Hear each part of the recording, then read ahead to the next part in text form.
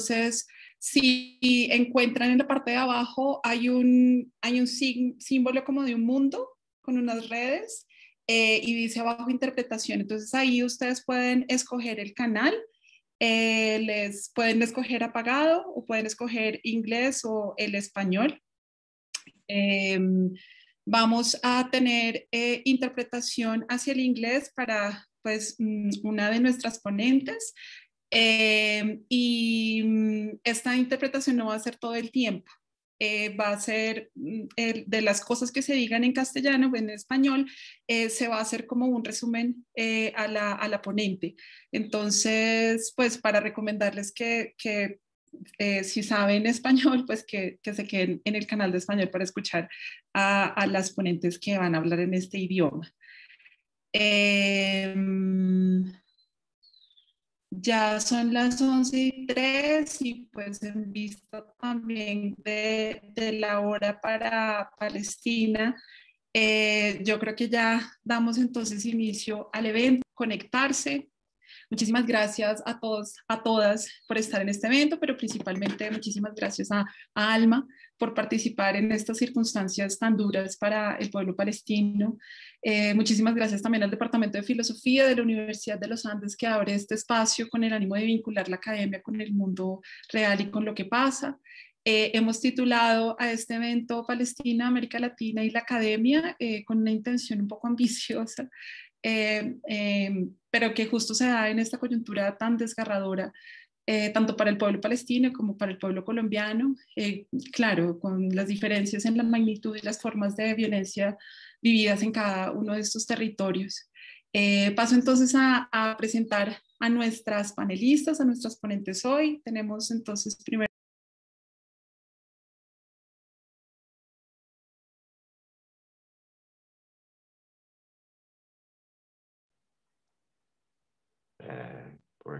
the University of Najash, Najah in Nablus, Palestine.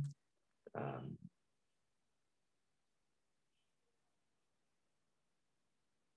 introduction of Alma.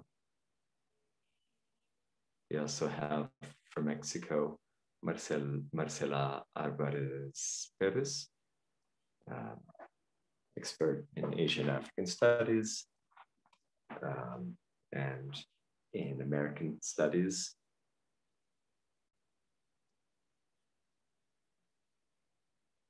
Currently studying a, a PhD in cultural theory.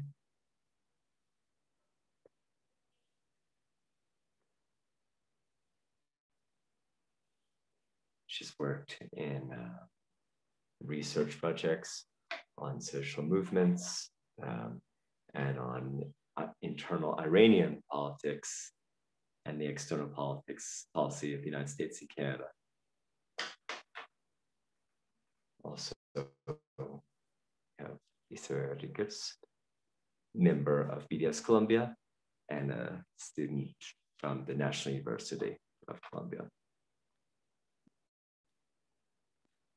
And before we, we start, I want to tell you, uh, um, given uh, the wealth of experiences we have from our speakers, I'm going to ask several different questions to get a, a general panorama of what's happening in Palestine, uh, the international response, and especially the response from Latin America and from the academia.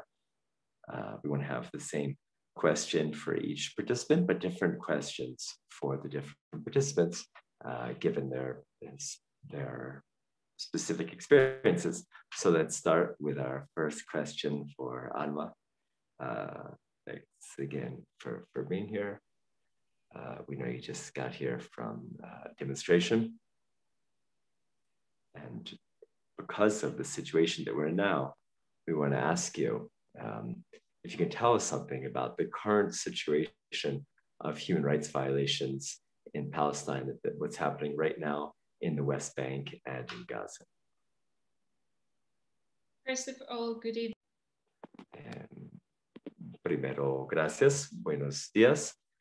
Gracias por invitarme, me alegra estar aquí y quiero desear lo mejor para Colombia. Estamos siguiéndoles desde las noticias, nuestros pensamientos y oraciones están con ustedes. no sé dónde empezar. Hoy ha habido tantas situaciones, agresiones. Hay una huelga general eh, que no pasa desde los 30. Eh, como muchos, muchas saben, tenemos tres partes del país. Tenemos Cisjordania, eh, Gaza y la parte ocupada que hoy en día se conoce como Israel. la huelga se está desarrollando en todas partes, las tres partes. Hay enfrentamientos con el ejército israelí. Hace cinco minutos hubo eh, cientos de personas heridas, tres muertos por las manifestaciones, nada más. Y 25 detenidos y detenidas en todo el país.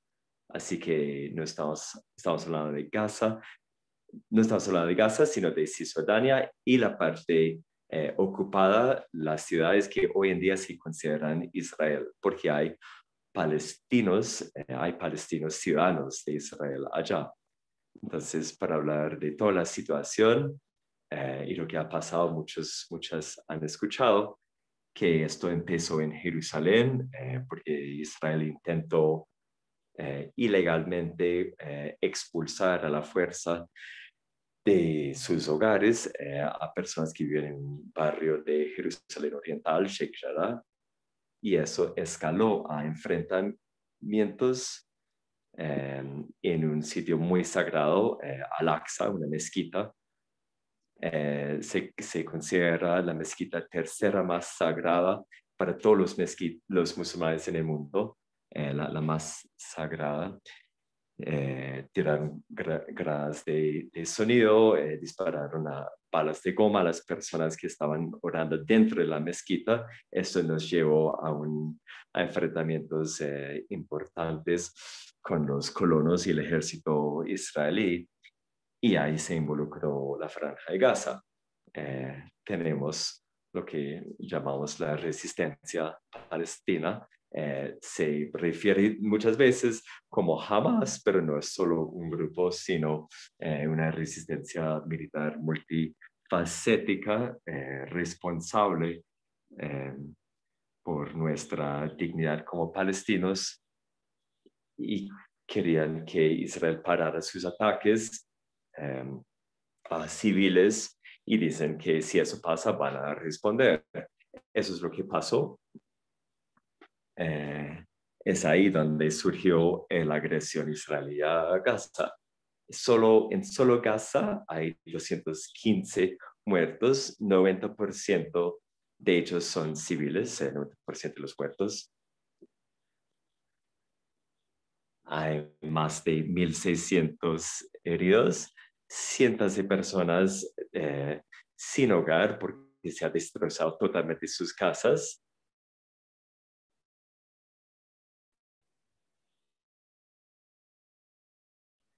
y entre los 65 niños eh, y 35 mujeres eh, han sido asesinados en Gaza. Esa es la situación actual. Sí, muchísimas gracias, Alma, por, por este, este panorama y este contexto em, eh, de, de, la situación de, de, violencia y esta escalada de violencia que ha pues, que tiene ya tiene sus precedentes y se entiende, pero se entiende, dada la, la situación de parte y de ocupación, em, se, se, entiende en ese marco. Eh, y justamente por eso quisiera hacerte la siguiente pregunta. ¿Nos puedes contar un poco más allá pues, de la coyuntura eh, sobre la situación de los y las académicas y estudiantes en Palestina en términos generales, eh, dada, pues, dada toda la ocupación de parte la situación de parte y la ocupación?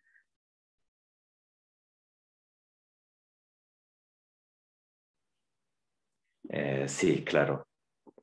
Hay tantos puntos de que podríamos hablar sobre esto. Voy paso por paso. Podemos empezar hablando de la infraestructura de colegios y universidades en Palestina. Hemos enfrentado, enfrentamos muchos problemas en esa área. Eh, está la fragmentación geográfica.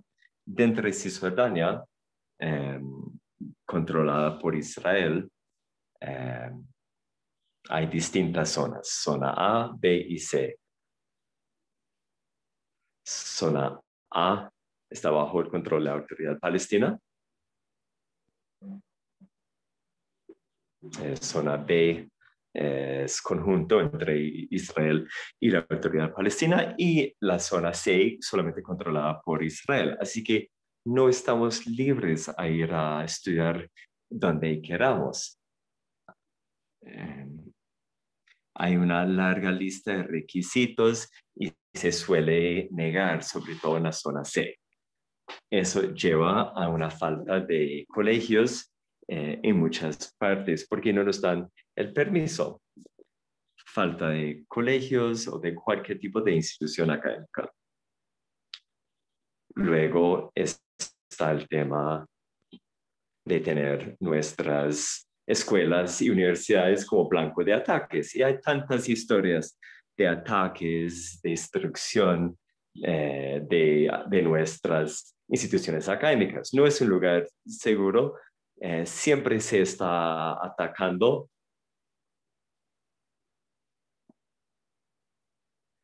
Eh, en,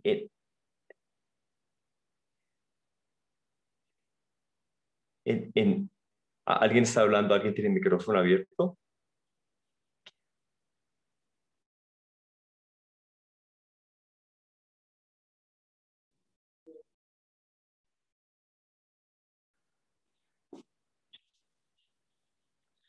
Entonces, eso es en cuanto a la infraestructura.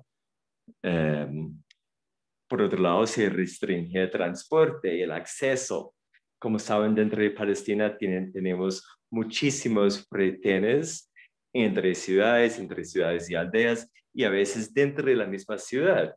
Así que tanto los estudiantes y nosotros, nosotras como académicas, tenemos que pasar a diario por esos retenes. Personalmente, cuando voy a trabajar, tengo que pasar tres retenes militares que no es seguro porque en estos retenes hay un riesgo de que te disparen por cualquier motivo o sin motivo. Además, tenemos el muro de la separación que separa los palestinos dentro de los territorios ocupados eh, y, y, Cisjordania. Eh, y además tenemos lo que llaman eh, eh, retenes móviles que no son permanentes, sino que deciden de repente cerrar el acceso entre zonas. Eso lleva a que los estudiantes no puedan ir a sus, a sus clases. Así que para nosotros, si un estudiante falta un examen, si no asiste, eh, es una excusa muy aceptable decir que estaba cerrado el y tenemos que enfrentar eso a diario.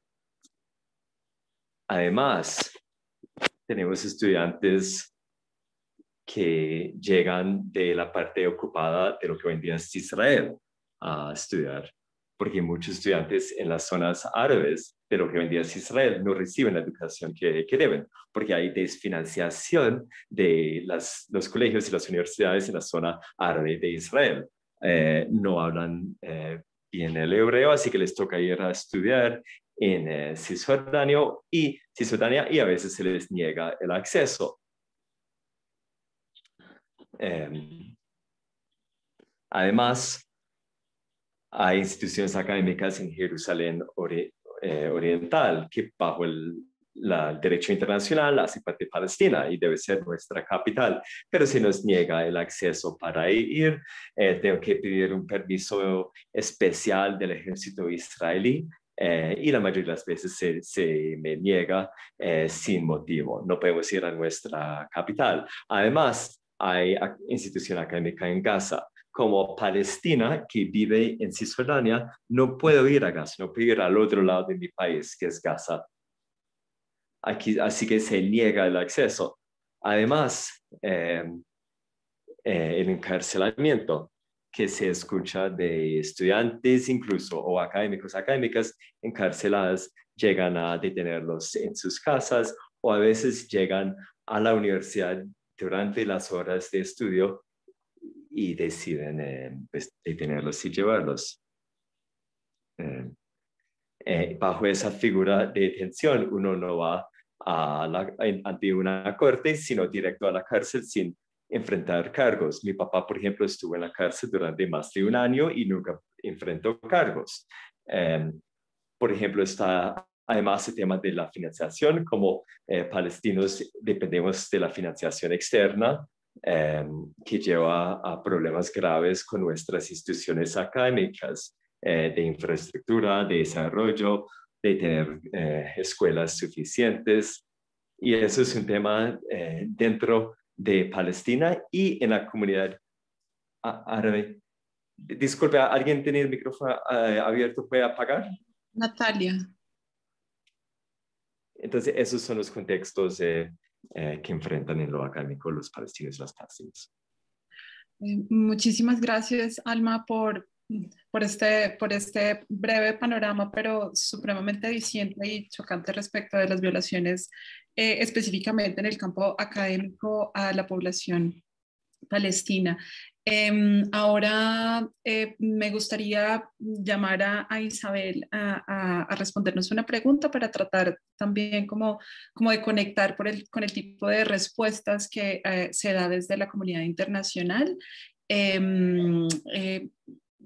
Frente a la situación tan dura que vive el, el, y que ha vivido el pueblo palestino, eh, pues que Alma nos acaba de contar en, en, los recientes ataques a Gaza y a Cisjordania, eh, pero pues también históricamente desde el 48, eh, sabemos que surgió un movimiento de boicotes, inversiones y sanciones a Israel. Isabel, ¿tú nos puedes contar cómo surgió la campaña internacional de BDS? ¿Quiénes lo impulsan aquí en Colombia y en América Latina?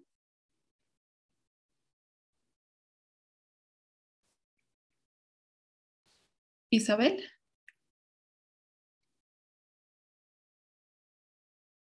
Tienes el micrófono apagado todavía.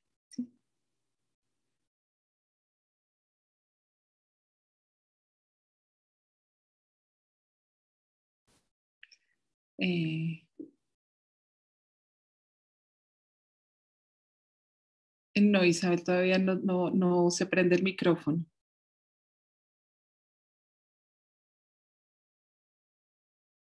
Ah.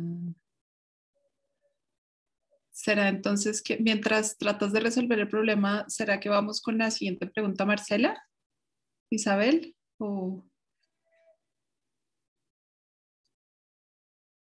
Dice, Isabel dice que alguien le tiene que desmutear. Ah, ya, Sí, si me ponen como cojos, la próxima yo lo podría abrir.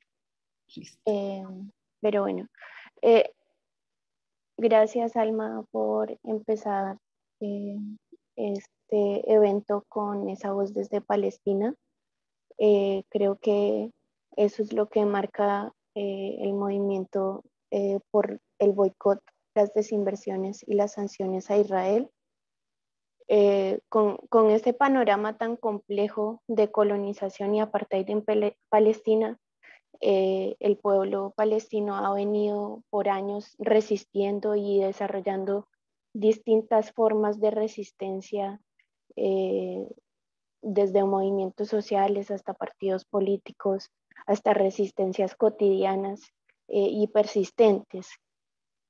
como pasa en Colombia, esas, esas expresiones trabajan en conjunto para acabar con la opresión, pero no siempre se ven la solución ah, de la colonización y a la partir de la misma manera.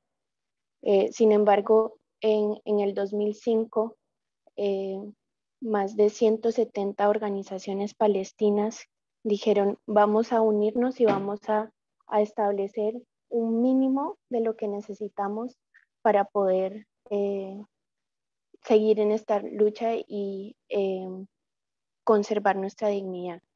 Eh, y ese mínimo decidieron eh, basarlo en los derechos humanos y en el derecho internacional humanitario, que son unos estándares que a través del mundo eh, deberían aplicar para todos los estados.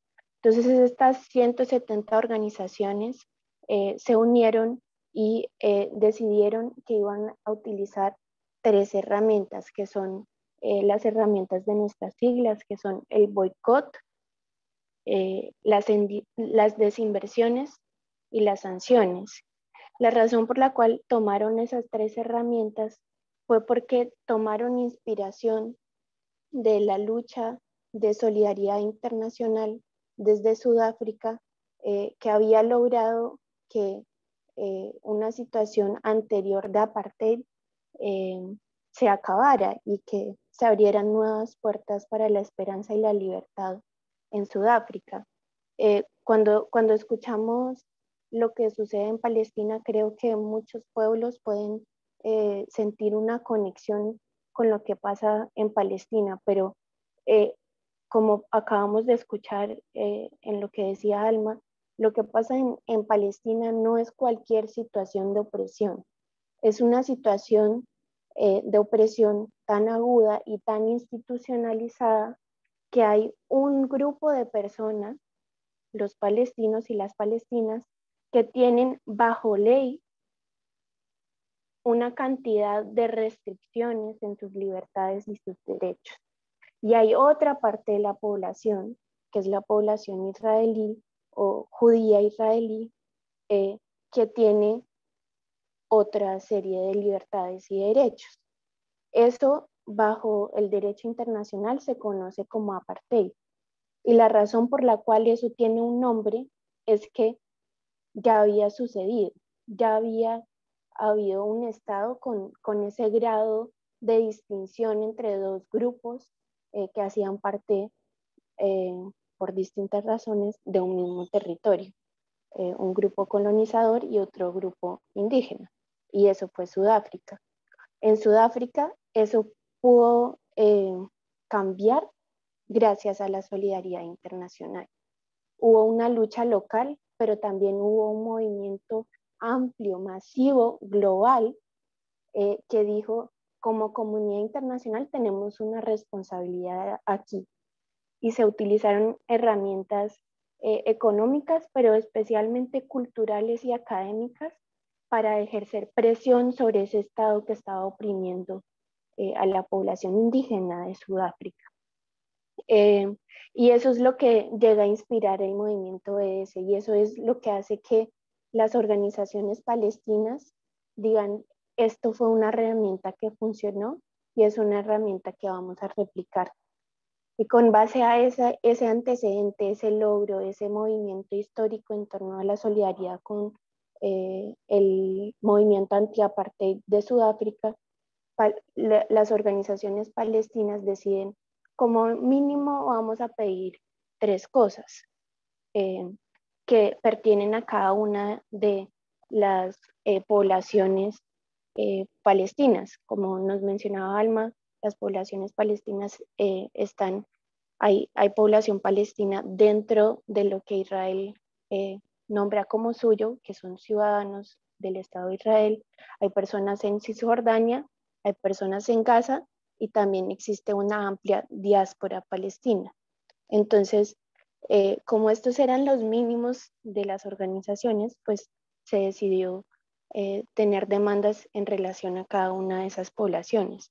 Entonces, la primera demanda es el fin de la ocupación y la colonización y el fin, eh, desmantelar el mundo del apartheid que divide Israel de Palestina, realmente Palestina de Palestina, que además es un muro que dentro del derecho internacional eh, ha sido declarado múltiples, veces como ilegal. Eh, también reconocer los derechos de la población árabe palestina ciudadana de Israel, es decir, acabar con el apartheid. Y finalmente, respetar el derecho de retorno de la población refugiada de Palestina, es decir, la diáspora palestina. Todo esto está dentro del derecho internacional y por el momento lo dejo ahí y ya iremos profundizando más. más.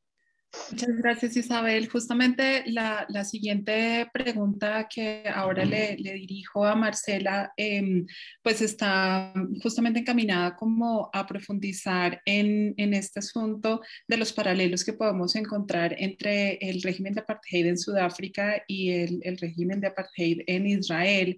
Em, y las experiencias similares del boicot en contra del, del, primero y, y la, la, la similaridad eh, con el segundo. Eh, y si nos puedes hacer el favor después, Marcela, de explicar, una vez explicado esto, si nos cuentas un poco es más sobre el BDS académico, de dónde nace esta iniciativa eh, dirigida a quién está em, y quién lo lidera, por qué se hace también, digamos, boicot a universidades israelíes, a ver si, si tratamos como como de avanzar un poco hacia ese lado. Muchas gracias, Marcela. Sí, este, gracias a ti, Milena, gracias por la invitación. Este, y pues sí, efectivamente, como menciona Isabel, el modelo que se toma es el del movimiento eh, eh, anti-apartheid. Eh, tenemos una situación que en realidad es muy parecida porque lo que se vive es una segregación, ¿no? como ya mencionó, son dos sectores de la población que no se rigen bajo las mismas reglas, unos son privilegiados, mientras que los otros eh, pues tienen un montón de obstáculos que, se vuelven legales a partir de, este tipo de políticas. El movimiento anti-apartheid pues van a ser eh, precisamente eh, en Inglaterra, gracias a estos exiliados sudafricanos y sus simpatizantes, que van a promover la idea del boicot internacional y bueno, va a ir escalando el movimiento conforme fueron eh, intensificándose las acciones por parte del gobierno sudafricano. Masacres como la masacre de Sharpeville, que, bueno, pues es parte de lo que va a abrir los ojos de la comunidad internacional. Y como ya mencionó Isabel, eh, pues se vio que sí tuvo un impacto este movimiento anti-apartheid, ¿no? Algunos de sus logros más importantes fueron la expulsión de Sudáfrica de la Commonwealth en 1961, luego como parte del boicot deportivo, eh, Sudáfrica no participó en las Olimpiadas de Tokio en el 64 y eh, se va a lograr organizar una conferencia internacional para evaluar precisamente la posibilidad de establecer sanciones económicas en contra del gobierno sudafricano. Eh, parte todo esto de una campaña más grande de aislamiento que va a incluir todas estas aristas. El boicot político, el boicot económico, cultural y deportivo. Y bueno, todo esto se termina en 1990 cuando efectivamente se cumple el objetivo de que, el apartheid por fin llegue eh, pues a finalizarse. Eh, y una parte muy importante va a ser precisamente el boicot académico, ¿no? Que es lo que nosotros también estamos tratando de replicar, la idea de no colaborar eh, con universidades o con académicos que sean parte de este sistema, que como bien ya nos mencionó Alma, eh, pues todo este eh, toda la represión, todo el, control que hay por parte del gobierno israelí, pues no nada más se basa en la coerción, la intimidación y la fuerza, ¿no? Sino que vienen todos estos distintos niveles negándole a los palestinos el acceso a la cultura, a la educación, a la participación en eventos deportivos. Eh, entonces es parte de lo que, de lo que justifica que se actúe, digamos, de la misma manera, ¿no? Este, resistir al poder de la misma forma en que el poder se manifiesta. Eh, esto es parte de lo que promovió el, movimiento original en contra del apartheid sudafricano. Y bueno, eh, tan es así que se encontró que era legítimo que en diciembre de 1980 Naciones Unidas aprobó una resolución eh, con respecto a estos boicots culturales, académicos y deportivos. ¿Por qué? Porque la Asamblea General pues acepta que el gobierno racista de Sudáfrica está utilizando precisamente eh, lo cultural, lo académico, lo deportivo para promover su propaganda en contra de, los sudafricanos eh, eh, negros en este caso, este, eh, de manera muy similar como el Estado de Israel pues también utiliza todo esto como propaganda para ellos establecer su propia narrativa en contra de los palestinos y que bueno, este, entonces se requería que los estados miembros de Naciones Unidas también tomaran los pasos necesarios para prevenir la participación cultural, académica y deportiva con el régimen como un mecanismo de presión. Entonces, es parte de lo que, de lo que nos hace cuestionarnos por qué ahora se le niega eh, eh, este apoyo al movimiento BDS, ¿no? ¿Por qué hay tantas críticas? ¿Por qué incluso en algunas partes de Estados Unidos eh, lo están tratando de volver ilegal, ¿no? equiparándolo con una cuestión de antisemitismo, cuando, bueno, pues es, es una herramienta que ya se ha probado con anterioridad. ya particularmente el boicot académico actual eh, nace en 2004 precisamente como respuesta a la complicidad sistemática, sobre todo de las universidades israelíes, con esta cuestión del apartheid. Eh, y pues eh, es forma parte de este movimiento más amplio, ¿no? la idea del boicot académico, pues, es continuar no participando, no aceptando becas, no yendo a congresos, promoviendo que las universidades locales no tengan vínculos académicos con estas universidades israelíes hasta que las instituciones académicas israelíes reconozcan los derechos del pueblo palestino y pongan fin a todas estas formas de complicidad. El movimiento está liderado desde Palestina por el Comité Palestino por el Boicot Académico y Cultural a Israel, pero bueno, pues este se ha extendido, tiene representantes o ramas eh, precisamente eh, en América Latina y en otras partes del mundo para coordinar estas acciones. Y el llamado al boicot académico es apoyado también por la gran mayoría de la sociedad palestina, incluyendo la Federación Palestina de Sindicatos de Profesores y Empleados Universitarios y el Consejo Palestino para la Educación Superior, porque bueno, ellos son los que viven estas realidades de las que Alma ya nos habló, ¿no? Eh, todos estos límites que, los mismos estudiantes palestinos, que los profesores palestinos enfrentan eh, y eh, pues las mismas universidades israelíes son cómplices porque facilitan también esta separación. Además, de alguna u otra manera, todas las universidades israelíes han desempeñado un papel clave en planificar, aplicar y justificar las políticas de ocupación y apartheid de Israel. Por ejemplo, eh, hacen investigación para el ejército. Eh, la Universidad Tecnión eh, desarrolla tecnologías para los drones militares teledirigidos, los bulldozers militarizados a control remoto que se utilizan para demoler las viviendas. Han participado en la colonización. La Universidad Hebrea ha confiscado o participado en la confiscación de tierras palestinas en Jerusalén. se han establecido entonces algunas de estas instituciones en tierras que, de acuerdo con el derecho internacional, le pertenecen a los palestinos y pues bueno, eh, forman parte entonces de estas colonias ilegales han participado silenciando y justificando el régimen de apartheid. Eh, en este caso tengo el ejemplo de la Universidad de Tel Aviv, que fue la que desarrolló la doctrina Dajilla, eh, o básicamente de fuerza desproporcionada, que es la que emplea el ejército israelí para cometer estos crímenes de guerra en contra de la población civil y libanesa, este, y que bueno, muchas veces se ve precisamente como eh, el castigo que se da a la población civil, que también está violando el derecho internacional. Apoyan a los soldados, muchas de estas universidades les dan beneficios a los estudiantes que están en las reservas del ejército, eh, les dan la oportunidad de titularse con anticipación, les dan eh, muchas cosas que otros estudiantes que no participan no tienen, pero sobre todo eh, cuando a estudiantes que participan en críticas en contra del Estado de Israel o que participan en marchas, manifestaciones, vienen sanciones en contra de estos, de, de estos universidades. Y bueno, este, hay además eh, flagrantes casos de discriminación eh, que están documentados por organismos internacionales como Human Rights Watch, que bueno, este, eh, han documentado esta discriminación racial que está institucionalizada en contra de la población palestina en todo el sistema educativo de Israel, incluidas las universidades, así como ya nos contó Alma, ¿no? Y bueno, el ejército y el Estado israelí han atacado sistemáticamente la educación palestina eh, se han eh, pues destruido decenas de miles de libros palestinos desde la Nakba. Este, les decía que ha habido eh, encarcelamientos de estudiantes, no se les permite este, hacer manifestaciones, este, no tienen la libertad, por ejemplo, muchos de estos académicos y estudiantes, de ellos poder tener estas oportunidades de hacer intercambios, de tener becas que otros eh, estudiantes israelíes sí tienen, ¿no? Este, se les niegan sus derechos básicos, incluyendo la libertad académica. Eh, no tiene libertad de movimiento, como Alma ya nos contó. Y bueno, este, además hay que contar eh, los ataques que ha habido en contra de escuelas palestinas.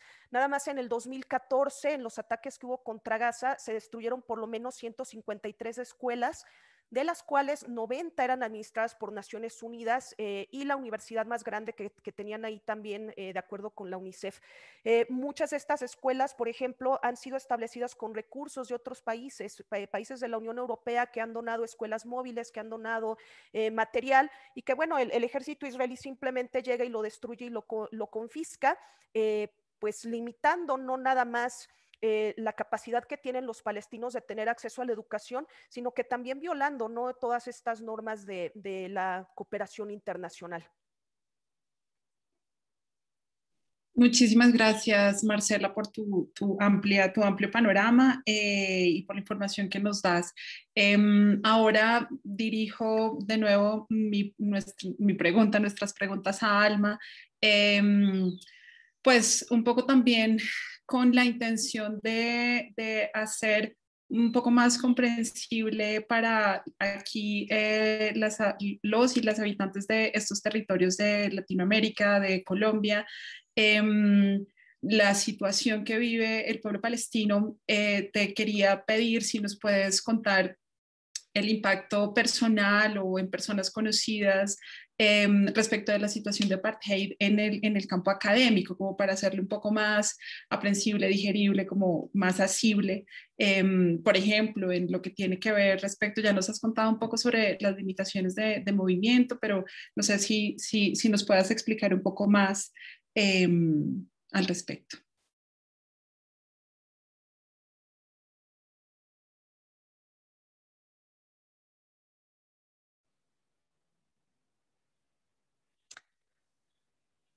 Claro. Eh, gracias a Isabel y Marcela, que dieron eh, un panorama muy bueno. Estoy de acuerdo con todo lo que dijeron. Eh, completaron la información que yo estaba diciendo. Eh, si quieren saber más, les puedo dar algunas experiencias personales y experiencias de algunos colegas de lo que enfrentamos con el apartheid israelí. Se empiezo con una experiencia muy personal, em, una de mis primeras experiencias con eh, el ejército israelí en una institución académica. Personalmente eh, nací y fui criada fuera de Palestina, pero cuando me gradué decidí volver a vivir sola en Palestina, es un paso muy grande, sobre todo entre las familias árabes, dejar que su em, hija vaya a un país en guerra, pero es algo que tenía muchas ganas de hacer, porque para mí eh, amar el país es eh, devolverle algo a ese país. Así que vine aquí, apliqué a la, a la universidad en Cisjordania cuando tuve la entrevista para ir a mi futuro trabajo. Eh, fui a la universidad bajo gas lacrimógeno. Eh, tuve que caminar a través de gas lacrimógeno eh, que se tiraba a mí para ir a una entrevista laboral. Tuve que hacerlo porque si me demorara, eh, si lo aplazara, podría pasar otro día. Eso es algo que nos dijeron. Dijeron, si quieres trabajar acá, te tienes que acostumbrar a ese tipo de situaciones. Así que yo, yo me niego normalizar eso, porque nadie debe eh, pasar por ese tipo de situaciones como normales, porque no lo es. Nunca debemos aceptarlo. Otra experiencia que, que tuve He estado trabajando en una investigación específica em, analizando hierbas palestinas que se usan en nuestra comida. Como saben, Israel está intentando robar nuestra cocina eh, y cultura, así que me gusta eh, documentar nuestras hierbas tradicionales y sus aspectos muy tradicionales, las usamos, porque eso también hace parte de nuestra lucha no pude acceder a algunos materiales porque se tiene que importar a través de Israel. E Israel puede decidir cuáles materiales entran y cuáles no. A veces incluso si dicen que sí se puede importar algo al laboratorio, hay que esperar años hasta que lleguen. Así que eh, ponen cualquier restricción posible eh, para dificultar el trabajo de uno no se consigue ninguna parte, eh, ninguna otra parte, porque como saben, también quizás no tenemos eh, fronteras, control de fronteras, no, tenemos aeropuerto, no tenemos puerto, eh, las fronteras son controladas por Israel y hay una forma de acceso que es a Jordania que muchas veces está cerrada sin motivo. Por ejemplo, en la pandemia no había forma de dejar el país para ir a buscar vacuna a otra parte. Esa es otra de las cosas que tenemos que enfrentar. Además, tenemos algunos educadores eh, internacionales en Palestina de ascendencia palestina, pero también eh, otras personas que deciden ir a, trabajar en Palestina de Estados Unidos, de Australia, etc. Muchas veces se les niega el permiso de ir a Palestina. Sé muchos, conozco muchos ejemplos de eso. Y a veces cuando llegan, se les niegan darles cualquier tipo de permiso para estar legalmente en el país. Así que se tienen que ir cada tantos meses. Algunos se niegan a hacerlo y acaban em, con la obligación de quedarse en una ciudad, porque si pasan cualquier retén, los deportan para siempre. Tenemos tantos tanta policía aquí que ni pueden dejar su ciudad y a veces ni el sector de la ciudad, porque se enfrentan cualquier Em, em, efectivo israelí van a pedir los documentos. Es que nunca dan el permiso, no intentamos hacer las cosas ilegalmente, pero incluso intentando seguir las normas legales se les niega el permiso. Eso es otra cosa que enfrentamos. Tengo una lucha con mis estudiantes. Eh, nutricionista se considera eh, una especialización nueva. Eh, y en un país bajo guerra, la nutrición es un tema importante con tanta desnutrición. Muchos, la mayoría de los cursos que necesitan nuestros estudiantes, eh, por ejemplo, cursos eh, de ponentes internacionales, em, no pueden participar porque no se les permite salir del país y esas personas les niega el permiso para venir a Palestina. Así que eso eh, compromete su experiencia educativa en general. Esa es una lucha grande que tenemos. Em, estas son algunas de las historias personales que tenemos y que se traducen literalmente en el significado de la parte. Hay, em, los estudiantes y académicos no enfrentan en las mismas experiencias. Estamos bajo el control israelí se les niegan los privilegios que tienen los israelíes. Eh, incluso las instituciones en las colonias eh, palestinas que bajo el derecho internacional hacen parte de Palestina, se, les se nos niega cualquier acceso, incluso a una biblioteca, a, a esas universidades en colonias israelíes. Puedo contestar después si tiene más preguntas. Muchísimas gracias, Alma, de nuevo por compartirnos eh, tu experiencia personal. Em, pues mueve y conmueve mucho em, saber que ese tipo de violaciones recurrentes a los derechos humanos son cotidianas en, en, Palestina. Eh, no solamente en Gaza, que es donde vemos como en este momento la oleada más grande de violencia, sino en general en, Cisjordania y también pues en, en, Jerusalén Este. Em, muchísimas gracias por darnos esta, esta dosis tan fuerte de, de, realidad que está afrontando el pueblo palestino diariamente. Em, más, más adelante creo que te, te, voy a hacer otra pregunta sobre, em, sobre estos, estos diferentes estatus, eh, a ver, porque quizás algunas personas no, no, no tengan muy clara eh, los grupos y los grupos poblacionales y dónde están, y Cisjordania y Gaza, y quizás ese, eso les, se les dificulta un poco, pero quizás más adelante te lo pregunto. Por ahora entonces voy nuevamente con Marcela a preguntarle, em, ella como parte del boicot académico, eh, si nos puedes contar brevemente eh, ¿Qué impacto ha tenido eh, la campaña de boicot académico? Quisiera antes que nada aclarar que el BDS y el, y el boicot académico, pues como parte del BDS, eh, es un movimiento no violento, ¿no?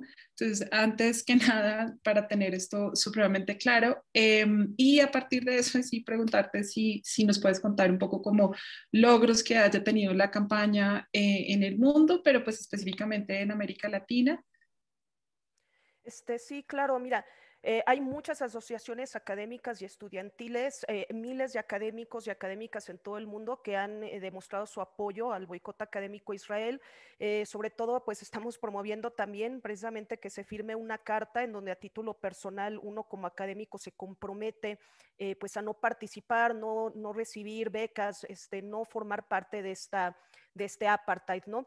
Eh, ejemplos específicos, tenemos la Universidad de Johannesburgo, sudafricana, que evidentemente pues vivieron en carne propia eh, el, apartheid. Ellos terminaron su relación con la Universidad Ben Gurion en el 2011. Hay distintas asociaciones académicas como la American Studies Association, la National Women's Studies Association de Estados Unidos y otras que eh, se han declarado también a favor de, del apartheid, del boicot académico, perdón. Eh, muchos sindicatos y organizaciones universitarias, como el Sindicato de Docentes de Irlanda, los sindicatos de docentes de la Universidad de Nueva York, de la Universidad de Massachusetts. Eh, este año, eh, los académicos de la Universidad de Brasilia aprobaron con un 80% la votación para una moción de que su universidad cancele cualquier nuevo convenio con empresas israelíes. Eh, y que se mantenga la Universidad de Brasilia como un espacio libre de apartheid, que es parte de lo que promovemos también. Eh, más de 70 docentes y funcionarios de la Universidad Austral de Chile en Valdivia también firmaron un llamado a que su universidad sea un espacio libre de apartheid. Eh, tenemos el respaldo de académicos individuales que han firmado declaraciones de apoyo al boicot en todas partes del mundo. Eh, no nada más en Sudáfrica, que decíamos que, pues eh, es donde se ha visto mucha colaboración por, su propia historia, pero también en Estados Unidos, en donde tienen que lidiar con estas leyes que se han eh, tratado de establecer en contra del BDS, el Reino Unido, eh, la India, Suecia, Irlanda, Brasil, Bélgica, Italia y sobre todo pues en, la mayoría de los países de América Latina.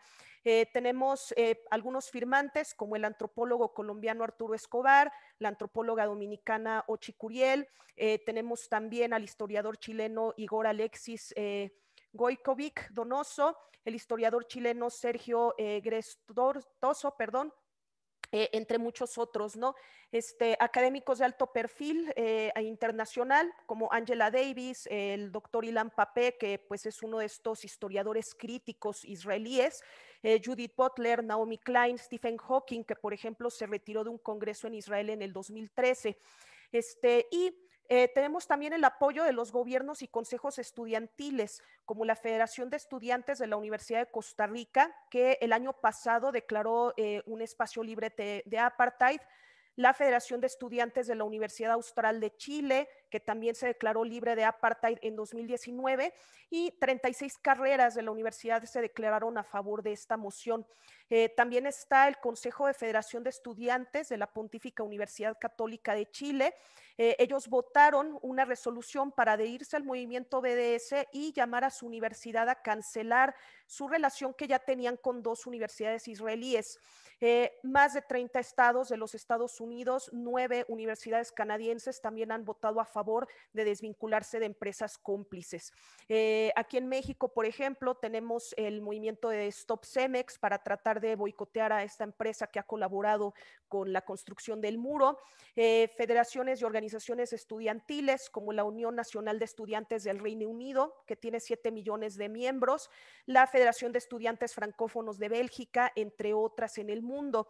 Eh, y en un refrendo en la Universidad de Chile, el 64% de los estudiantes apoyaron que su universidad cortara vínculos institucionales con universidades israelíes. Eh, viene también la cuestión de la desinversión, eh, convenios y cancelación de contratos, no nada más la cuestión de no tener vínculos académicos, sino tampoco apoyar ¿no? a, otro tipo de instituciones. Eh, apenas en marzo de este año, tras una campaña estudiantil muy fuerte, la Rectoría de la Universidad de Costa Rica emitió un oficio para garantizar que cada convenio internacional de la universidad respete los derechos humanos y no se utilice para la industria militar en general, incluyendo eh, definitivamente la israelí. La Universidad de Hampshire en Estados Unidos también retiró sus inversiones de seis empresas cómplices y dos universidades del Reino Unido han logrado que sus eh, empresas se desinviertan de empresas cómplices eh, israelíes. Entonces, como pueden ver, eh, pues poco a poquito se va sumando, es parte de todo lo que se promueve, como, no nada más parte del boicot académico, sino les digo, las universidades también tienen vínculos con empresas y es parte de lo que se está, se está tratando de promover, que el boicot llegue en todos los niveles para poder ejercer presión para que exista un cambio.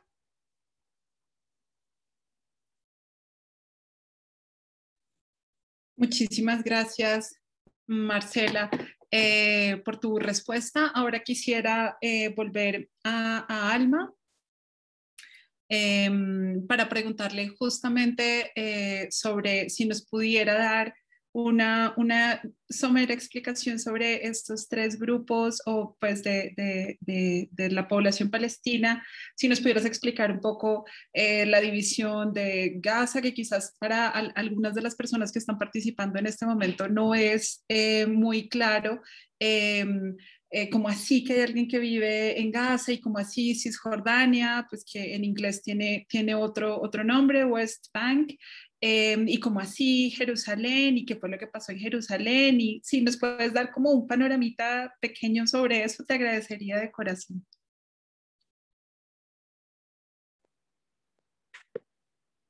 Oh, claro, sí. Pero como lo vamos a hablar, me, gustaría contarles que hay más grupos dentro de eh, esas divisiones dentro de lo que llamamos la Palestina histórica, están tres grupos o cuatro grupos principales, que son los palestinos que son ciudadanos de Israel, que viven en la parte ocupada por Israel, en Israel, eh, que tienen eh, cédula israelí. Luego hay palestinos que viven en Jerusalén. Eh, muchos de ellos no tienen la la nacionalidad, la ciudadanía israelí, no tienen nacionalidad. Eh, luego están los palestinos en Cisjordania y en Gaza, em, pero no se puede, los de Gaza no pueden ir a Cisjordania, pero y los de Cisjordania no pueden ir a Gaza. Luego hay refugiados internos, es decir, personas que se desplazaron de em, ciudades que fueron ocupadas a otras ciudades dentro de Palestina. Y está la diáspora, em, que tiene muchos subgrupos. Eh, otros tienen otra nacionalidad, mientras mantienen su identidad de refugiados, y otros no tienen eh, ningún tipo de eh, reconocimiento como los refugiados en Líbano. Por ejemplo, para mostrarles la complejidad, yo tengo ciudadanía jordana, pero tengo cédula palestina quiere decir que dentro de Palestina soy palestina, pero si me voy de Palestina soy jordana. De cualquier forma, en Jordana siguen hablando de mí como jordana de origen palestina. Quiere decir que si hay eh, una solución, un Estado para Palestina, me quitan la nacionalidad palestina, eh, jordana, me quitan esa nacionalidad. Eh, así que uno nunca sabe su estatus. Esto implica muchas dificultades porque los distintos grupos tienen acceso diferente a servicios y distintos niveles de no acceso a servicios. Por ejemplo, hace que sea más difícil viajar, sobre todo para las personas que viven en Jerusalén y que no tienen ningún tipo de, de cédula, solo tienen un documento de, eh, de viaje que se llama laissez-passer de francés. Y eso solo les permite viajar a ciertos países, pero es muy difícil y enfrentan muchas dificultades en el, en el aeropuerto porque dice que, que no tienen eh, ninguna identificación. No saben cómo manejar eso porque no, no está claro su estatus específico. Además, frente al acceso a la salud, los refugiados tienen acceso a la salud por UNRWA, parte de la ONU, eh, y los, los palestinos em, que tienen la identificación de la autoridad palestina tienen em, acceso a la salud de la autoridad palestina y además hay em, clínicas de salud en Jerusalén, por ejemplo, o en, en Israel hoy en, día, eh, hoy en día no tenemos acceso a esas clínicas y a veces los palestinos dentro de, esas zonas tampoco tienen acceso. Así que esto es muy, es muy complicado. Eh, es difícil para nosotros vivir nuestras vidas cotidianas. Acabo de mencionar la salud porque es algo que todo el mundo necesita. Es un derecho fundamental básico. Eh, si estás enferma, que, ¿dónde te, van a cuidar? Además, eh, dificulta que la gente se case eh, otra experiencia personal. mi amigo, amiga de Jerusalén Oriental, mi amiga, su novio es de fuera de Ramallah en Cisjordania. No se podían casar porque si se casara, ella perdería su estatus eh, como residente de Jerusalén. Eh, pero él no puede eh, mudarse a Jerusalén como alguien, un palestino de Cisjordania, Ramallah. Así que duraron años pensándolo, se tuvieron que casar en Ramallah, no contaron las autoridades israelíes y ahora ella está embarazada y no sabe qué hacer. Así que incluso las decisiones cotidianas en estos subgrupos de la población palestina eh, dificulta mucho la, vida de uno, porque todo lo que uno necesita hacer eh, se tiene que calcular y lo que hoy es legal puede ser ilegal mañana, por él cambia las leyes o no acata las leyes sin ningún motivo y nadie les va a pedir cuentas por eso. Muchísimas gracias, Alma.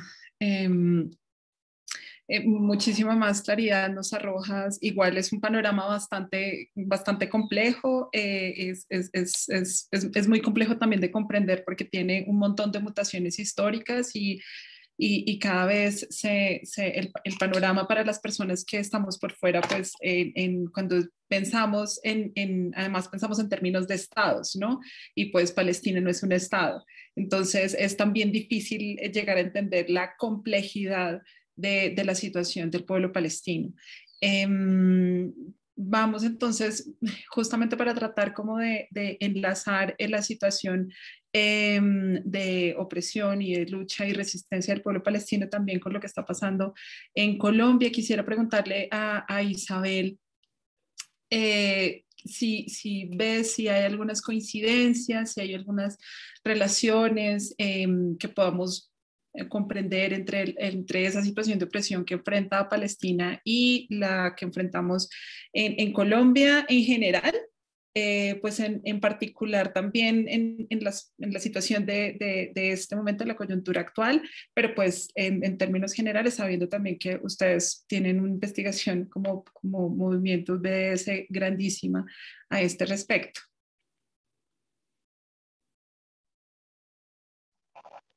Sí, gracias Milena. Pues eh, creo que las conexiones eh, que existen entre Colombia y Palestina son muchas, eh, algunas eh, por desgracia y otras por fortuna.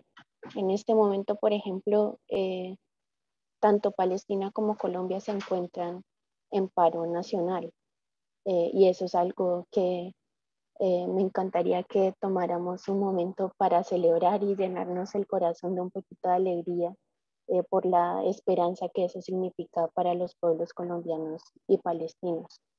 Em, pero en la historia de Palestina y de Colombia, esa esperanza siempre ha estado eh, marcada por el dolor.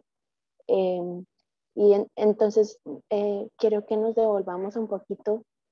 Es curioso que estemos ahorita, 18 de mayo, ah, hablando de esas conexiones, porque en 1948, cuando se creó el Estado de Israel, eh, en mayo justamente, hace unos días se conmemoró eh, esa fundación y se conmemora especialmente lo que eh, el pueblo palestino llama la Nakba.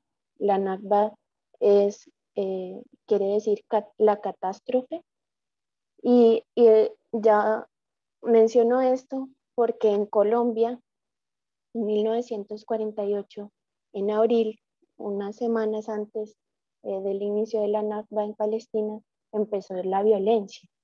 Eh, el 9 de abril asesinaron a Jorge Eliezer Gaitán y con eso se desata un proceso donde empiezan a, a utilizar la violencia para desplazar y especialmente despojar tierras de campesinos en todo el territorio colombiano.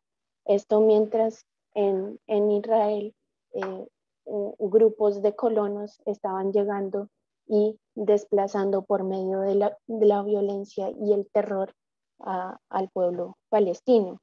Eh, desde ese momento, las historias de Colombia y de Palestina hacen unos recorridos de paralelos entrecruzados. Y en este momento, mientras Colombia eh, está eh, con el dolor profundo de más de 30 personas asesinadas por la fuerza pública, Palestina está con el dolor profundo de, como nos mencionaba Alma, más de 200 personas asesinadas por bombardeos del Estado de Israel.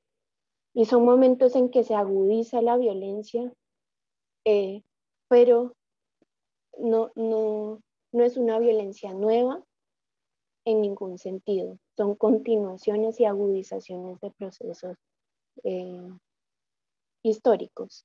Y, y, en ese proceso histórico, eh, lastimosamente, hay otra conexión entre Colombia y, Palestina, y es que em, la cooperación militar entre el Estado colombiano que reprime a sus comunidades y el Estado de Israel que reprime, asesina, coloniza las comunidades palestinas, eh, se ha mantenido durante todo este periodo.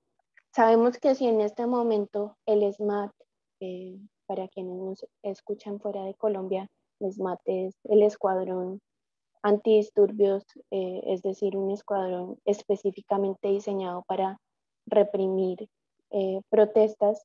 Si el SMAT está asesinando colombianos en las calles de Colombia y en Gaza están siendo asesinados está siendo asesinada la población civil es en buena medida gracias a una industria militar eh, sumamente desarrollada con unas ganancias extremadamente altas eh, dentro de Israel.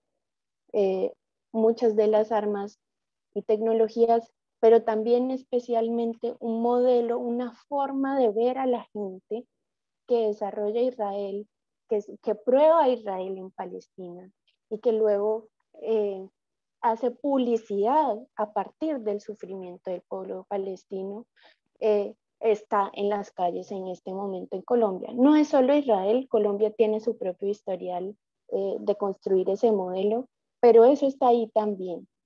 Y, y, y, otra conexión que quiero hacer es, como mencionábamos al inicio, yo soy estudiante del Departamento de Sociología de la Universidad Nacional. Les cuento que desde que yo he estado eh, como estudiante en la Universidad Nacional, yo he tenido eh, por lo menos tres compañeros que han sido privados de su libertad eh, del departamento por, por, una persecución por parte del Estado. Entonces, otra de esas conexiones, ese, ese uso de la privación de la libertad, de meter a los seres humanos en jaulas eh, y utilizar eh, mecanismos de tortura muchas veces como privación de la luz, eh, no tener acceso a abogados, no tener acceso directo a familiares y, y, el uso de esa privación de la libertad para cada vez restringir más el tipo de resistencia que ejercemos. Eh, y, y, bueno, con esto quiero sí mencionar que eh, cuando hablamos de las conexiones entre Colombia y Palestina, es muy fácil decir, es que es lo mismo, y no es lo mismo. Eh, es importante que encontremos esos matices de cuál es la diferencia entre la magnitud de privación de libertad, por ejemplo, que ocurre en Palestina lo que puede ocurrir en un departamento como el mío. Eh, pero, pero lo importante ahí es, mirando esos matices, también identificar eh, quién se está beneficiando de esto, quién está sacando dinero de esto, quién ve el sufrimiento de la gente y dice, yo de esto puedo sacar plata. Eh, y muchas veces es la misma gente, es la gente, la gente que está sacando dinero allá, es la que está sacando dinero acá. Eh, y eso también nos ha enseñado el movimiento eh, de ODS, que podemos empezar a identificar ¿Quién está detrás de nuestro sufrimiento? ¿Quién permite, por ejemplo, que además de todas las desapariciones que han ocurrido eh, en, el paro en este momento, además de las muertes, además de los casos de violencia sexual contra mujeres y personas no binarias, eh, ¿quién, ¿quién va a hacer que sea posible en los meses que vienen después de, de este paro hacer montajes judiciales y meter a la gente en la cárcel?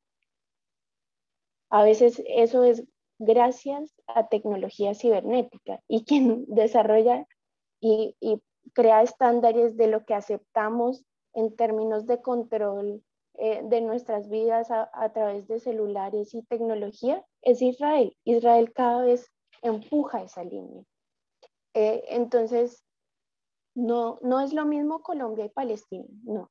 Hay muchos matices, hay grados eh, de, de intensidad distintos en distintos aspectos, pero hay tantas conexiones de sangre y de dolor que hay que luchar juntos. Y eso es lo que tenemos que sacar de esto. Eso es lo que tenemos que sacar de esto. Y ahí lo dejo por el momento.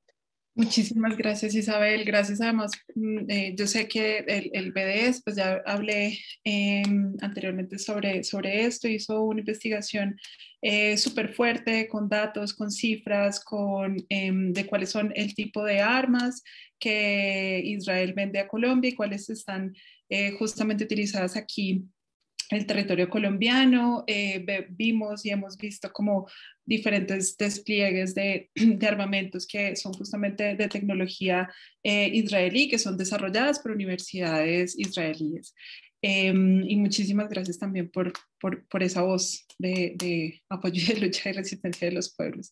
Em, ahora quisiera pasar a una, una pregunta que mm, no sé mm, quién primero quiere responder, Alma o Marcela.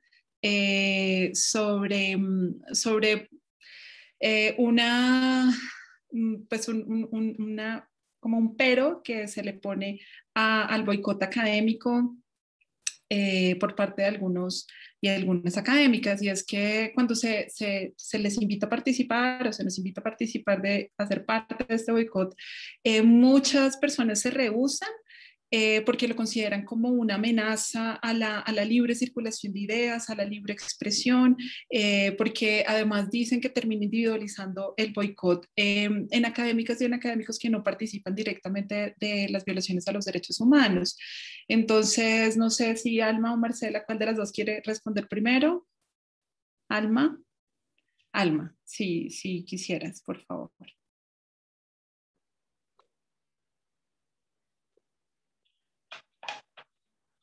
Claro, creo que esta es una de las preguntas difíciles de contestar. Eh, hay muchas perspectivas al respecto, eh, muchas perspectivas incluso en Palestina. Creo que hay dos formas de verlo. Si lo vamos a hablar a nivel personal, o sea, eh, valorar cada académico, académica, ver sus ideas, eh, posiciones y tomar la decisión basada en eso, o si vamos a, responder a la institución donde está esa persona. Eh, hay muchos interrogantes frente a cómo eh, manejar eso. Personalmente, eh, si lo queremos ver, yo creo que ya llevamos 73 años en esto Estoy de acuerdo. Yo sé que hay muchos académicos y académicas que no participan directamente en el apartheid y tienen perspectivas diferentes y intentan hacer un cambio, pero no lo hicieron. Tuvieron la oportunidad durante 73 años y todavía nada ha pasado. Vamos cada vez peor, así que no, no está ayudando. Eh, hacerlo a nivel individual no nos lleva a nada. En mi opinión personal, creo que las instituciones eh, israelíes académicas eh, son, hacen parte íntegra de la parte, son directamente cómplices por sus acciones de la parte hacia los palestinos en, dentro de Israel, en Gaza y en Cisjordania. Es por eso creo que el boicot es la única forma que tenemos. Como dijo Marcela antes, lo hemos usado antes y funcionó, así que es el, la única herramienta que tenemos. Eh, tenemos que usarlo para presionar a estas instituciones israelíes, intentar aislarlas para que ojalá hagan un cambio. Además, hay muchísimas eh, violaciones de los eh, derechos humanos en esas instituciones y los académicos israelíes no se posicionan al respecto. Hace pocos días, en una universidad en Pietzaben, en Beersheba, en hebreo, eh, estudiantes palestinos fueron brutalmente atacados dentro del campus de la universidad y nadie hizo nada, nadie los defendió, nadie se, posicionó al respecto, no hubo eh, eh, protestas, huelgas de académicos israelíes frente a ese tipo de, violaciones de los derechos humanos. Son ciudadanos israelíes, em, pero fueron atacados por el mero hecho de ser palestinos. Además, hay políticas mm, explícitas en las universidades israelíes que separan eh, los eh, estudiantes eh, palestinos y los israelíes dentro de, Israel. Hay especialidades que son prohibidas a los estudiantes eh, palestinos. No, no se les permite ser pilotos a los estudiantes palestinos ciudadanos de Israel. Así que, porque lo ven como amenaza. Así que si queremos hablar de la libre circulación de ideas, claro que eso es bueno, pero si mm, queremos verlo en su conjunto, eh, en mi opinión, y muchos de mis colegas están de acuerdo, tenemos que responder a las instituciones donde trabajan estos académicos y académicas. Y esas instituciones hacen parte de la colonización y aparte de israelí, eh, como dijo Isabel. Eh, muchas veces se intenta avanzar la propaganda de que Israel es muy avanzada, tiene mucha tecnología, pero olvidamos para qué se usa esa tecnología. Se usa para la represión de personas, no solo en Colombia, sino en muchos otros países. En Azerbaiyán, por ejemplo, em, en, en la, la, disputa reciente con Armenia. No, no me posiciono frente a cuál tenía razón, pero muchas de las armas que usó Azerbaiyán contra Armenia fueron importadas desde Israel. Entonces, eh, si queremos eh, hablar de esas ideas, eh, creo que debemos intentar buscar el aislamiento internacional de las instituciones académicas israelíes, porque no nos dejaron ninguna otra herramienta. piden que los palestinos usemos herramientas pacíficas si quieren las herramientas pacíficas, esto es lo que, lo que hay. Pero también sabemos que nuestra resistencia es una herramienta que nunca debemos ceder em, porque em, nadie está exigiendo rendición de cuentas a Israel hoy en día, así que vamos a usar eh, todo lo que podemos usar. Si a mí me dan cualquier beca que tengan relación con Israel, eh, lo rechazo eh, inmediatamente. Eh, no estoy dispuesta a trabajar con ninguna institución académica académica israelí de ninguna forma. además, hay algo que vivió dos, tres veces, que es cuando presentamos eh, investigaciones que habla de cualquier contexto palestino, eh, nos obligan a mencionar a Israel y nos negamos a hacer eso. Porque muchas veces se prioriza a Israel por encima de nosotros. Entonces, ¿por qué tenemos que mencionar a Israel en la investigación? Eh, intentan hablar de Israel como si fuera país vecino. No es un país vecino, es una fuerza de ocupación en mi tierra y por eso no tenemos que hablar de, no tengo que hablar de ellos. Eh, y, y, si yo como Palestina, eh, académica palestina, me niego a trabajar con instituciones educativas israelíes, yo espero que los que se solidaricen conmigo hagan lo mismo. Eh, vemos que los intentos de normalización de, de Israel eh, en particular con los países árabes, están intentando em, eh, decir que los académicos se van a beneficiar de alianzas con instituciones israelíes. Y nosotros decimos que si, eh, si, si, quieren apoyar a Palestina, no pueden hacer ese tipo de alianzas con instituciones educativas israelíes. Además, el tema de las vacunas y cómo Israel eh, recibió la vacuna prácticamente gratis con fines de de investigación se lo dieron a ciudadanos israelíes. Nosotros, bajo el control de Israel, solo el 4% de los palestinos eh, han tenido acceso a la vacuna. Y se habla de Israel como un modelo exitoso de vacuna. Eh, no lo es, recibieron gratis el, la vacuna. Em, compraron muchas vacunas de, de, sobra y se las negaron a otros países que la necesitan. Es estoy muy interesada en saber qué dice Marcela al respecto. Muchísimas gracias, Alma. Mm, le damos entonces el paso a Marcela, por favor. Sí, este, pues concuerdo totalmente con, con Alma. Eh, me gustaría aquí citar a Judith Butler que nos dice que si las condiciones materiales para el ejercicio del derecho a la libertad académica o a la libre circulación de ideas está supeditada a las condiciones materiales para el ejercicio de los derechos humanos fundamentales, es la población palestina a la que deberíamos de apoyar porque a ellos de facto es a los que se les están vulnerando sus derechos fundamentales. Es decir, eh, no podemos partir de un hipotético, ¿no? Se va a violar la, libertad académica israelí por el boicot, cuando la realidad que tenemos presente es que, eh, como mencionó Alma, los palestinos están viendo calladas sus voces y están viendo violada su libertad de expresión, pues básicamente del 48 a la fecha, ¿no? Eh, ya ella nos dio muchos ejemplos, ¿no? De, de cómo eh, se, limita el acceso que ellos tienen a la educación, eh, cómo se violenta a los estudiantes, a los profesores palestinos.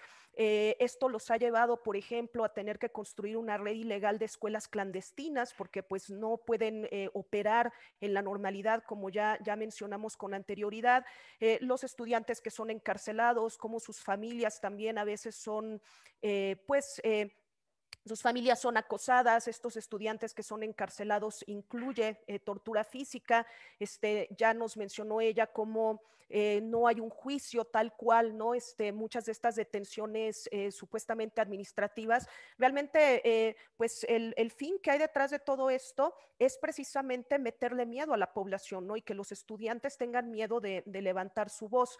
esta, este poco o nulo acceso que tienen a la movilidad y sobre todo que, bueno, cuando, cuando sí tienen acceso eh, a, publicar, a hacer eh, cierto tipo de investigación, pues está supeditada precisamente a lo que Israel les permite o no les permite decir, ¿no?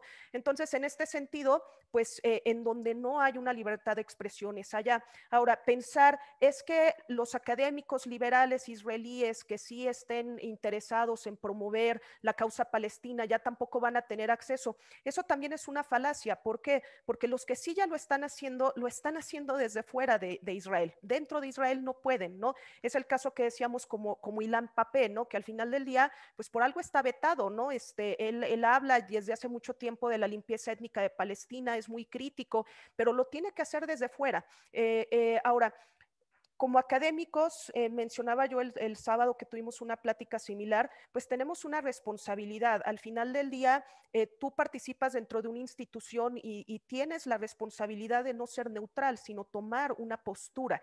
Eh, el hecho de que se esté atacando a las instituciones no quiere decir que, se esté atacando tal cual individualmente a los académicos o a las personas israelíes. Es la institución como tal, pero a veces tú necesitas que algo te afecte para entonces tomar una postura. Muchos de estos académicos, pues efectivamente no, han, no han hecho nada, no toman una postura porque no los afecta en su vida diaria, porque ellos no están sufriendo esta violación de derechos humanos.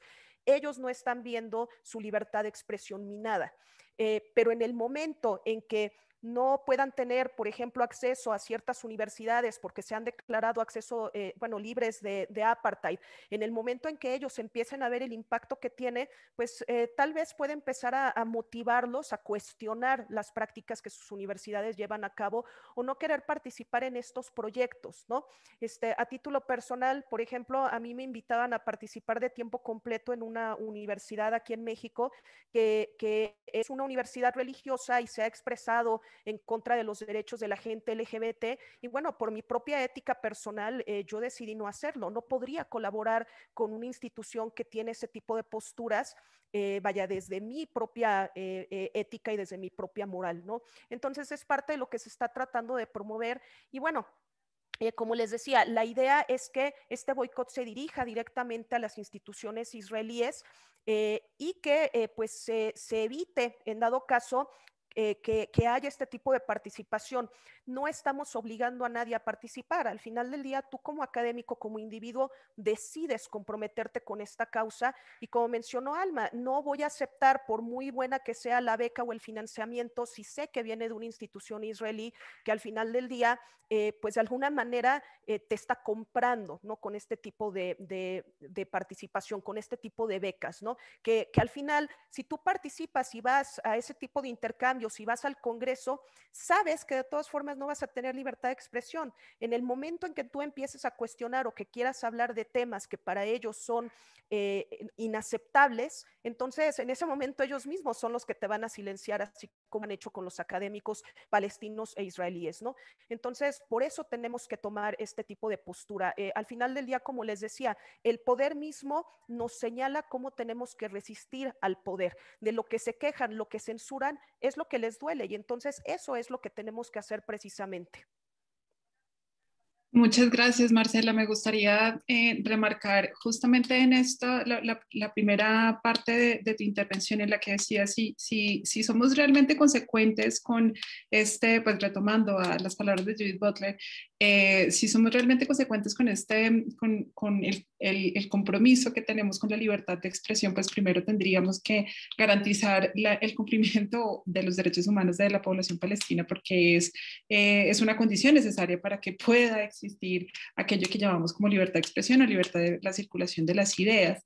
Eh, y la segunda cosa que, que me parece... Mm, muy interesante también de, tu intervención es que, eh, y, que me, me, remite también a, a, otra cosa que dijo Butler, es que se le acusa por lo general al, al BDS de romper lazos eh, y de romper lazos investigativos. Y lo que ella decía era como todo lo contrario, lo que hace es que teje lazos, pero alrededor de la solidaridad de, entre pueblos, eh, teje los lazos por una lucha compartida de construir un mundo mejor, un mundo en el, que, en el que de facto se respeten los derechos humanos, en el que construir conocimiento no signifique ignorar el sufrimiento de otros pueblos. Em, y bueno, pues ya estamos eh, finalizando, estamos dando, empezamos a darle cierre. La, última, la última pregunta que les voy a dirigir a las tres, eh, pues también un poco viendo el tiempo y también agradeciendo muchísimo al traductor, eh, que pues solamente tenemos uno y, pues a veces eso se hace supremamente agotador. Em, quisiera preguntarles por las acciones concretas que ustedes nos inviten desde, desde sus experiencias particulares a Isabel como estudiante, como también como integrante del BDS, a, pues a favor del pueblo palestino desde estas particularidades del territorio latinoamericano, a Marcela pues como, como docente, como académica, eh, como parte también del boicot académico latinoamericano, y a Alma pues como parte, como académica, parte de pues población palestina, que nos puedes decir, no sé quién de las tres se anima primero. Alma, ¿quieres tú?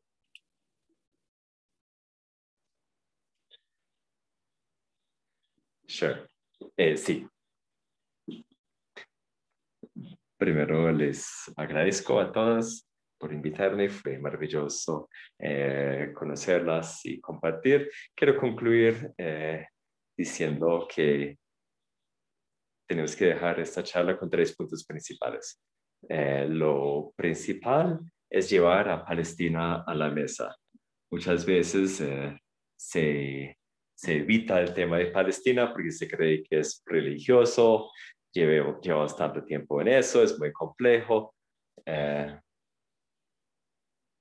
pero más bien debemos eh, animar a los estudiantes a hablar de Palestina, conocerlo, conocer la historia, porque eso es lo que les va a ayudar a, a, entender y tomar las decisiones después, sobre todo hablando de los y las estudiantes, son los que van a liderar el cambio que viene.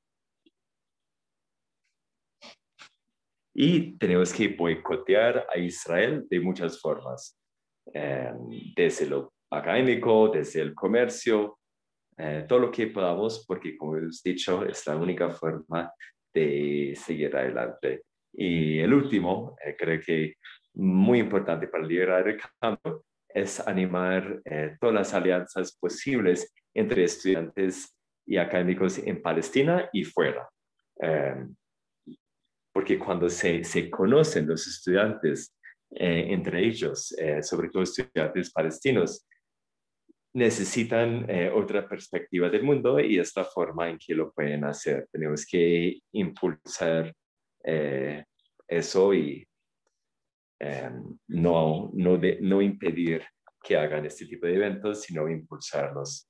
Em, hay muchos programas así y vemos el cambio que hace, hace, lleva al cambio político y al cambio social dentro de la sociedad palestina, que es algo que también necesitamos. Estamos intentando avanzarnos bajo ocupación, así que estamos intentando hacerlo todo a la vez. Así que es muy importante. No, no queremos parar en ningún aspecto. Esos tres puntos.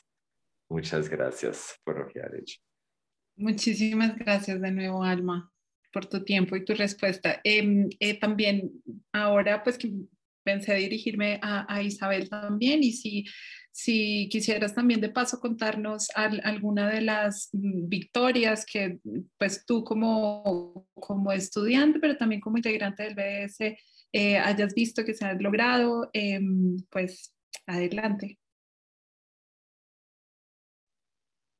Sí, eh, quiero aprovechar este, este momento de la palabra para decir varias cositas. Quería complementar algo a lo que se estaban hablando antes Alma y Marcela sobre la libertad de expresión. Eh, y creo que dijeron muchas cosas importantes y creo que a lo largo del evento hemos eh, visto por qué el boicot académico es necesario para las palestinas y los palestinos. Pero solo quería que no cerráramos el evento sin, sin mencionar otra cosa. El boicot académico también es necesario para los israelíes, porque no luchamos contra la opresión solo para los oprimidos, también para los opresores. Vivir en una sociedad colonial no le beneficia a nadie en última instancia. Y, creo que también hay que mencionar que el boicot académico también es necesario para las académicas y las estudiantes en Colombia. ¿Por qué? Porque así como la cooperación militar entre Israel y Colombia hace que el Estado colombiano sea más militarizado, sea más controlador, sea más violento y asesino. La cooperación entre las universidades colombianas y las universidades israelíes cómplices de la colonización hacen que las universidades colombianas se, se vuelvan universidades que promueven una visión militar del mundo, universidades que promueven tecnología para la privatización del agua, universidades que empiezan a adoptar una visión eh, colonial de la vida y eso no es lo que yo quiero como estudiante para mi universidad. Yo quiero una universidad donde las estudiantes aportemos a una educación para la gente y la cooperación con universidades con esas características no va a lograr eso. Eh, solo quería mencionar brevemente eso y, y, pues sí reiterar que el movimiento Ha tenido logros muy significativos eh, en aportar hacia eh, un mundo más libre en Palestina y hacia el, respeto del derecho internacional humanitario y los derechos humanos. Y lo ha hecho por medio de trabajo de hormiga. A veces parece eh, que es mucho lo que tenemos que hacer, que, que, que no lo vamos a poder lograr. Yo soy una personita que puedo hacer yo, eh, pero es trabajo de hormiga lo que lo ha logrado. Y solo para mencionar una cosita, porque eh, el tiempo se nos acaba.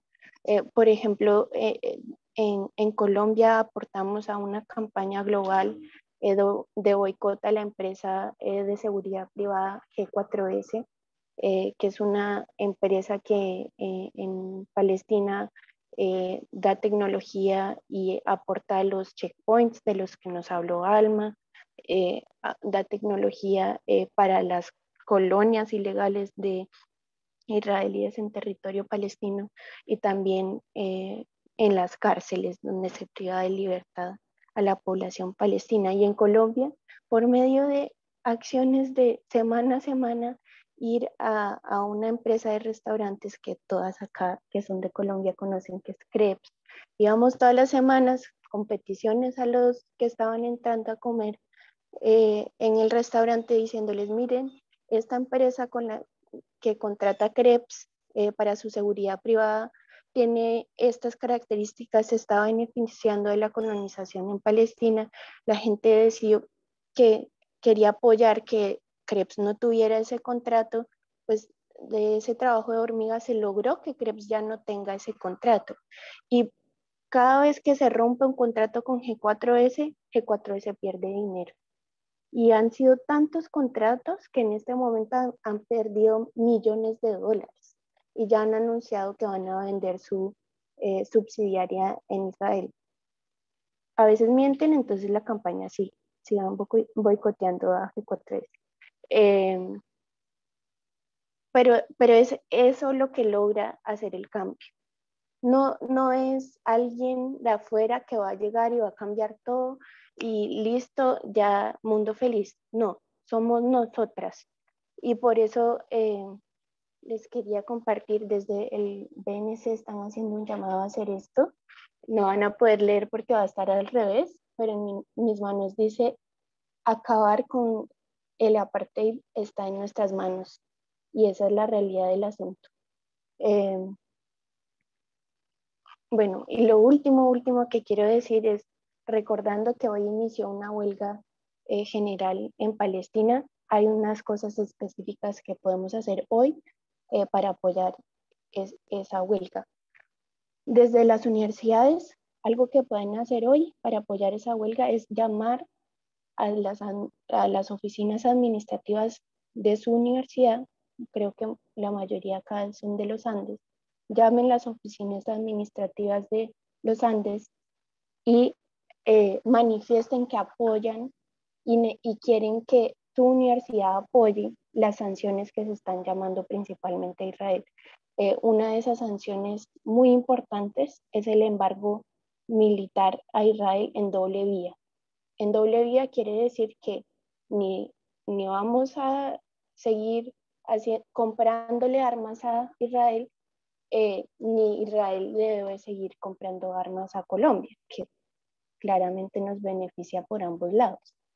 Eh, entonces queremos eh, que manifiesten a las oficinas administrativas de su universidad que ustedes apoyan esa sanción y quieren que los Andes se pronuncie para apoyar esta sanción. Eh, también pueden hacer eh, actos simbólicos de ponerse su cupida, su jata hoy, eh, de poner símbolos de Palestina en sus ventanas o en sus redes sociales. y pues en general les invitamos a seguir trabajando por el BS. El BS son las personas que promueven el boicot, las desinversiones y las sanciones. No es organización de nadie, es de todas que quieren apoyar a Palestina y ejercer la solidaridad eh, por medio de acciones concretas que aportan a un movimiento global. Entonces, ese es el llamado que les hago. Muchísimas gracias, Isabel. Me, me uno también aquí a, a, Miguel Gualdrón. Saludo. Eh, dice, gracias Isabel, cuánta claridad y qué útiles tus reflexiones. Eh, finalizamos entonces con Marcela, con la misma pregunta, por favor. Claro, este, miren, pues como académicos y académicas podemos participar a título personal. Eh, el Comité Palestino por el Boicot Académico y Cultural de Israel propone algunos lineamientos de qué tipo de actividades son sujetas al boicot y cuáles no. Entonces es parte de lo que podemos revisar, eh, porque como efectivamente ya mencionaste, pues se trata de que estas acciones sean pacíficas, sean organizadas, que estén dirigidas, ¿no? Que con objetivos específicos. Eh, parte de los compromisos que se hacen como, como académico, pues es no participar en ningún tipo de intercambio, evento o cooperación académica con cualquier institución israelí que sea cómplice, el Estado de Israel y aquellos que los representen oficialmente. Entonces, eh, pues siempre tenemos que estar muy atentos, ¿no? ¿Qué tipo de instituciones son? Cuando nos están haciendo una, una invitación, eh, pues bueno, revisar, ¿no? Este, quién está haciendo el llamado y qué tipo de vínculos tienen. Eh, no recibir ningún tipo de financiación o patrocinio por parte de cualquier institución que sea cómplice eh, israelí o del propio Estado de Israel. Y bueno, sí se permite la colaboración con académicos israelíes individuales que estén afiliados a este tipo de universidades. Eh, esto es una diferencia que hay entre el boicot académico que hubo contra Sudáfrica. Decíamos, no se trata de, atacar directamente o afectar directamente a los individuos, sino a las instituciones. Eh, también puedes colaborar con estudiantes israelíes que vengan de intercambio. El chiste es boicotear a los y las representantes del Estado y de las universidades israelíes. Si vienen a título de, de representante de la institución, entonces sí lo boicoteamos. Pero bueno, como individuos no, porque es parte de lo que decíamos, ¿no? Eh, a partir de este intercambio de ideas es que podemos llegar a ellos y podemos eh, hacerles saber, eh, pues, qué es lo que está pasando con la causa y por qué también ellos deberían de tomar una postura. se les pide también que firmen la Carta de Boicot Académico de América Latina, ya tiene más de 170 firmas, seguimos trabajando para juntar más. en donde, bueno, como académicos nos comprometemos estas cosas y también podemos impulsar a que nuestras asociaciones académicas y sindicatos se adhieran públicamente al boicot. Esto ayuda muchísimo, ¿no? Como decíamos, que, haya un eh, manifiesto oficial por parte de una asociación, de un sindicato, en donde eh, se establece que van a ser, eh, que se adhieren al boicot o que van a ser espacios libres de apartheid. y bueno, tanto para académicos como para estudiantes, exigirle a nuestras universidades poner fin a la colaboración que haya con universidades israelíes, incluyendo intercambio para estudiantes y académicos, eh, cancelar los contratos que haya con empresas cómplice, por ejemplo, Hewlett Packard, eh, G4S, empresas israelíes militares, etcétera, eh, dejar de recibir financiación de instituciones israelíes. y bueno, pues este, yo les recomiendo sobre todo seguir las páginas del movimiento BDS en, en su país para ver también qué acciones se van llevando a cabo. Eh, como decía Isabel, hoy estamos con el Día de Acción eh, eh, y apoyando la huelga palestina. Todo el tiempo se están organizando eventos, se están organizando pues boicots, por ejemplo, a productos o empresas específicas, campañas como la de Stop Cemex. Y les dejo en el chat la página del, del eh, BDS Movement, en donde pueden encontrar todo este material, ¿no? Este, todo lo que ustedes pueden llegar a necesitar para sus propias eh, universidades y seguir, ¿no? Eh, qué es lo que se hace por parte oficialmente, digamos, desde esta coordinación. Si pueden coordinar o, buscar crear vínculos con otras organizaciones, también está perfecto, ¿no? apenas les comentaba en, en otra plática que tuvimos el sábado, como cuando empezó Facebook con todo este rollo de que querían meter la palabra sionista eh, eh, y sionismo como las que impulsan al discurso de odio, bueno, se firmó una carta, eh, hubo todo un movimiento por parte de Jewish Voice for Peace que se juntó con BDS para juntar firmas para evitar que esto sucediera, ¿no? Entonces creo que es parte de lo que tenemos que promover también, la interseccionalidad desde otro tipo de organizaciones locales darnos cuenta que eh, pues el opresor, como decía Isabel, en muchos casos eh, es el mismo, ¿no? Este, es el mismo sistema que está cooptado más o menos por las mismas personas y que si entre movimientos nos apoyamos podemos tener un mayor impacto. Muchísimas gracias, Marcela, por pues, tus reflexiones y la claridad y, muchísimas gracias a Alma, a Isabel. Eh, nos dan un panorama muy grande respecto de lo que está sucediendo en este momento al pueblo palestino, de, pero también como históricamente cómo ha sido un pueblo oprimido que también comparte algunos de los rasgos con el pueblo colombiano, también en, resistencia eh, y en este momento pues en, lucha por derechos al, al, mismo tiempo y en circunstancias diferentes, pero esta, este evento también nos permitió eh, comprender mejor el, el, rol como académicas y como académicos que podemos jugar en, en estas situaciones tan difíciles de ver como espectadores y decirnos como no, no, no, tenemos que ser espectadores nada más, no tenemos nada más que comentar y, y, sufrir el desgarramiento por lo que está pasando eh, los pueblos, sino que también podemos tomar acción al respecto, que la academia eh, no se puede quedar callada, que la academia también tiene que hacer cosas, decir cosas y tomar una posición. Eh, muchísimas gracias de nuevo, Alba muchas gracias por estar aquí eh, con nosotras. Eh, ya es tardísimo allá en Palestina. Gracias también por estar eh, después de estas manifestaciones y después de la huelga. Muchísimas gracias por conectarte. gracias a Marcela por todo también su conocimiento y desde el BS académico, mm, pues buscaremos en, en la página también para la adherencia de las firmas que nos contaste. Isabel, muchísimas gracias también por darnos tanta presencia respecto de lo que hay que hacer y cómo hay que hacer y cómo hay que tomarnos en serio el trabajo. Eh, muchísimas gracias a todas, a todos quienes estuvieron conectados, al traductor, al intérprete, eh, sí, Viva Palestina Libre, muchas gracias Miguel, eh, y el traductor Eric Schwartz, muchísimas gracias por, por tu tiempo, por tu conocimiento, por tu saber, gracias. bueno, entonces hasta una próxima, espero. Gracias de nuevo por estar. Un abrazo. Gracias. Abrazo a Palestina desde Colombia, México también. Un abrazo. Cuídense mucho. Viva el paro internacional. Stay safe. Yes. Thank you. Thank you, Alma. Bye.